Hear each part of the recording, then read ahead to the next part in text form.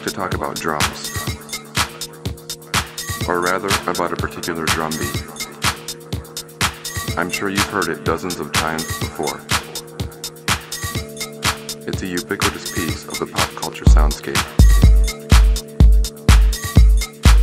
It's been used as a rhythmic backdrop in everything from late 80s gangster rap to corporate America's recycling hip hop forms to sell things like Jeeps and blue jeans to suburban America.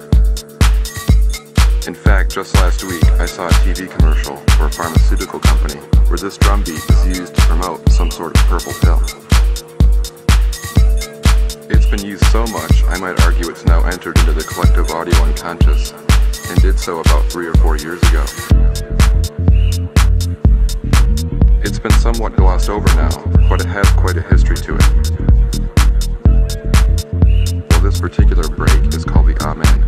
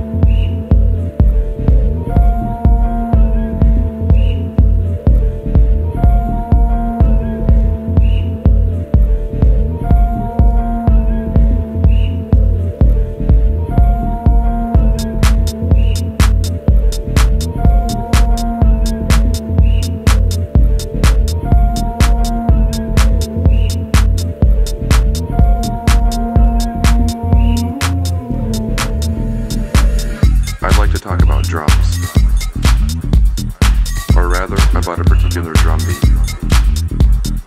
I'm sure you've heard it dozens of times before. It's a ubiquitous piece of the pop culture soundscape.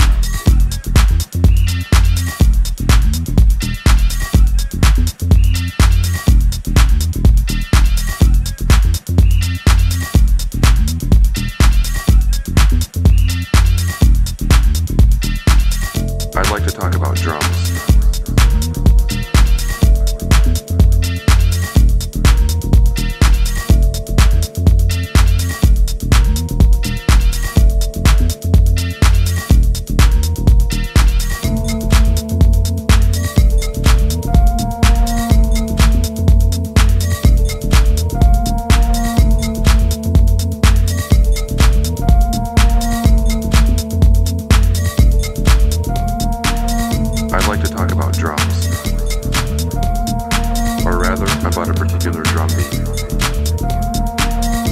Heard it dozens of times before. It's a ubiquitous piece of the pop culture soundscape.